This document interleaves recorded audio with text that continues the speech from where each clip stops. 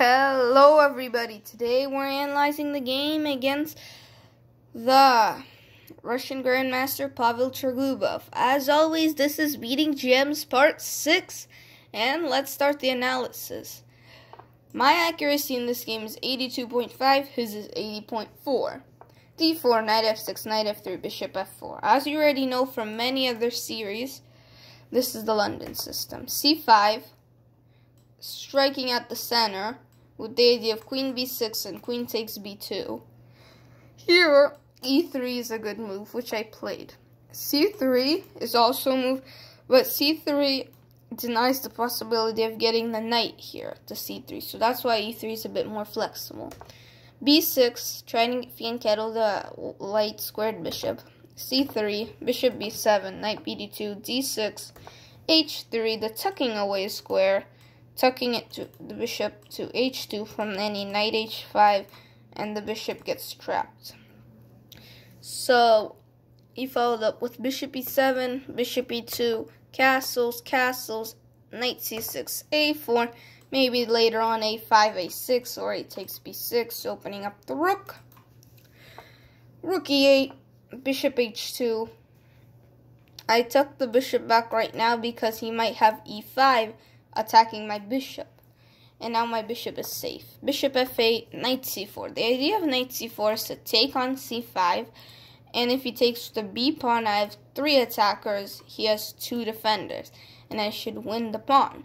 But if he takes with the d pawn, I exchange the queens, place a rook on the d file, and the d6 square is weak. So he played d5, knight e5, knight, queen c8, knight takes, bishop takes, knight e5, bishop b7, a5, bishop a6. Here I had a slight advantage the whole game, but here I missed an opportunity, like a mini opportunity, to try to keep my slight edge with c4, pawn takes, and something like knight takes c4. And after the exchange, I have slightly more active pieces. All my pieces are protected, and I'm slightly better. But I did, I did not play that. I played pawn takes b6. The reason why this is bad is I open up the A file, but it's not needed right now. And here I should play C4.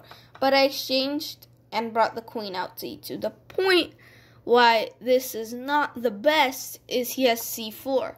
He locks up the queen side and is ready for B5, B4, and really irritating me.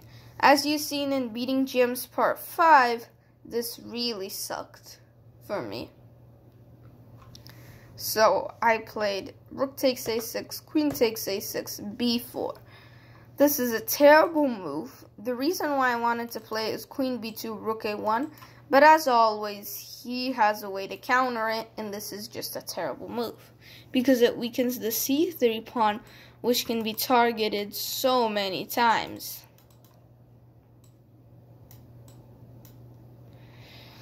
But here I followed up, he followed up with rook a8, rook c1 guarding the pawn, queen a3, queen e1, and here he played queen a2, an inaccurate move. Queen b2 was better trying to get the rook here. Here I had a chance with knight g4, knight e4, f3, knight d6. And here is about equal. If he takes the knight, which is best, I take and I have better chances with the knights off and the knight won't target me. It still is slightly preferred for black.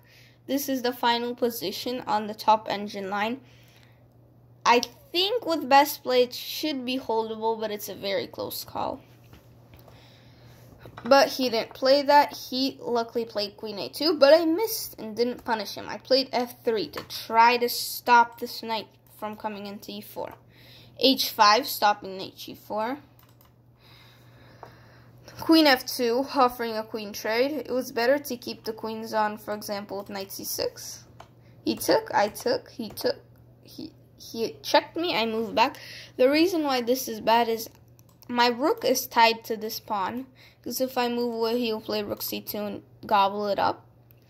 My king is tied to this pawn on g2 and he can do whatever he wants. He can grab space here, or even long term, he could get the king all the way into my position, with rook c2 taking and taking the pawn. But here he played a different move, which was the move h4, getting some space. I played bishop g1, just waiting. He played knight h5 with the idea of knight g3 check, attacking the king, and if I move, he can give another check and take this pawn. Everybody's falling apart. The bishop's trapped. Pawns may get weak later on. But he played but I played bishop f2, g5, e4, trying to open up something because I'm desperate to do something. He plays bishop d6, knight g4, and here he makes a mistake. Here, just bishop f1, it's game over. I move my rook to b1, let's say.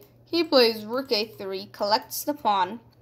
Then he, he can collect a second one, and I'm just lost. Two pawns down with a terrible position of all my pieces. But he luckily missed it. He played knight f4. I took on d5. I should have played rook b1, but either way, it's lost. Here he has knight takes d5, and I'm just lost but he played f5. The point of f5 was when my knight moves back to e3, which is the most logical square, he takes on f2. King takes knight d3, forking my king and rook, and he wins a piece. But, shockingly for him, I have some compensation with my pawns. Here on knight e3, another move that was best was pawn takes, but it hangs a pawn. If he takes with the knight, I take that pawn on c4. I thought about knight d3, but here I just have rook c2, and I'm fine. Even though black loses no pawns, he will lose a pawn eventually with this. So, knight e3 is just bad. So he played rook takes f2, king takes knight d3 check, and knight takes c1. Here I take the pawn, this should be a drawn endgame. Bishop g3 was better activating the bishop, but he guarded the pawn. I took the pawn. Best was to push up to d6. Why? On bishop to, let's say b8, d7, bishop c7, I have knight e5. Well, he has many moves. For example, king f8, knight c6, and I'm threatening queen and the bishop's gone and it's just equal. But I took the pawn, which is inaccurate. He should have tried to bring bring the knight back and tried to target the pawns, but he played king f8. I played knight e3, attacking the pawn. He played king e7, another mistake. Here should have played b5. I really don't understand why. I personally would like to play knight d3 but the computer doesn't like it. It says b5 and knight c3. So first for b5 is an important move. So maybe take the pawn and the pawn's fixed. But he played king e7. This is a mistake because knight d5 and after king d6 he's having some problem. On king d6 I push the e7 and on king d7 I take the bishop. He cannot take my knight because of a queen. So that's why it's a mistake. So he realized it and took. I took. He moved here and I checked him. He moved forward. He was trying to scare me to take all my pawns down here. But I wasn't afraid and played knight g7, which is a fatal mistake. Here, he has knight a2, saving the game for him. And on knight takes f5, for example, knight takes c3, king f2, knight a2, b5, knight c3, and the pawn's collected. Even though he's a pawn, it's a draw. I should have played instead of that knight f6 with the idea of d5. So he played king d5, I played knight g7, he played f4, keeping this pawn more valuable than all my queenside pawns, which is wrong. I played knight a back. I should have played king e1 with the idea of king d2 to protect the pawn. He played knight a2.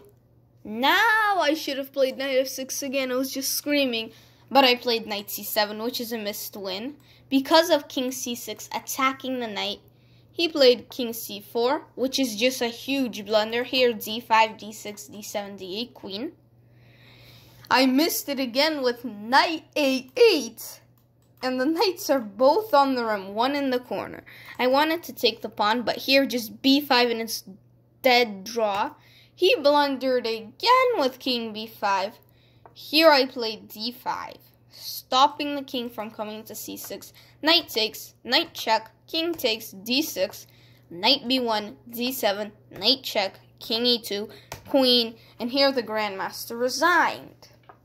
So let's come back through the whole game.